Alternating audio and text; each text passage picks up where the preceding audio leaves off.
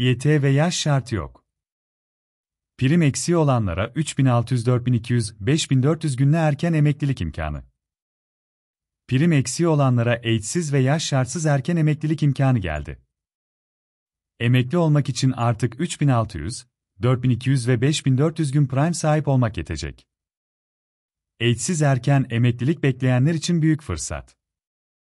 Prim eksiği olan ya da yaşı tutmadığı için EYT'yi kaçıranlara yeni düzenleme geliyor.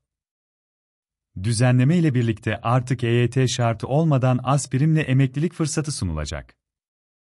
Emekli olmak için 3600, 4200 ve 5400 gün prime sahip olmak yetecek. Peki erken emeklilik düzenlemesi ne zaman çıkacak? Yeni düzenleme kimleri kapsayacak? Milyonlarca kişiye erken emeklilik hakkı getirecek düzenlemenin detayları haberimizde. Eksik prim nedeniyle emekli olamayanlar için yeni fırsat geliyor. Yaş şartı ve EYT şartı olmadan yeni erken emeklilik düzenlemesi nihayet hayata geçiyor. Sosyal Güvenlik Kurumu tarafından yapılan duyuruya göre, milyonlarca kişi artık prim tamamlamakla uğraşmadan emeklilik dilekçesi verebilecek. Özellikle EYT'yi kaçıranlar için bu fırsat oldukça önemli. Ayrıca sunulan bütün imkanlara rağmen emekli olma şansını yakalayamayanlar için de SGK'dan toplu para iadesi fırsatı var.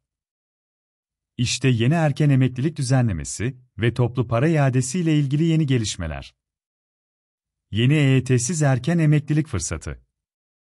EYT'yi kaçıran Sosyal Sigortalar Kurumu ve Bağkurlular için büyük fırsat geldi. Eksik primi olanlar, borçlanma yöntemiyle prim eksiğini tamamlama ve yeniden erken emekli olma şansına sahip olacak.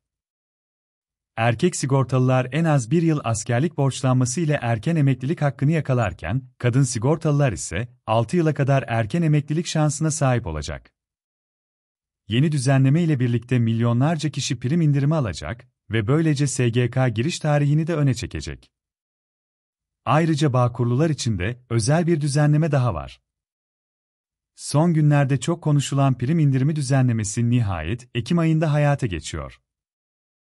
Küçük esnafa yönelik erken emeklilik düzenlemesi olarak bilinen Sosyal Sigortalar Kurumu ve Bağkur prim eşitlemesiyle birlikte küçük esnaf 5 yıl erken emeklilik hakkına sahip olacak. Düzenlemenin Ekim ayında TBMM'den geçerek yürürlüğe girmesi bekleniyor.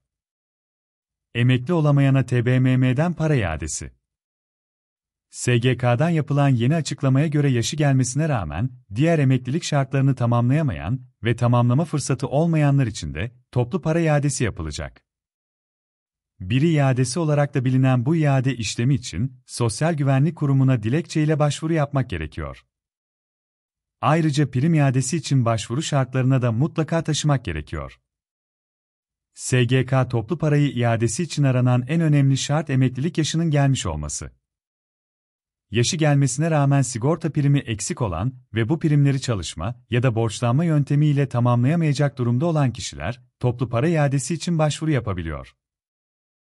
Daha detaylı bilgi almak için SGK'nın resmi internet sitesini ziyaret edebilirsiniz.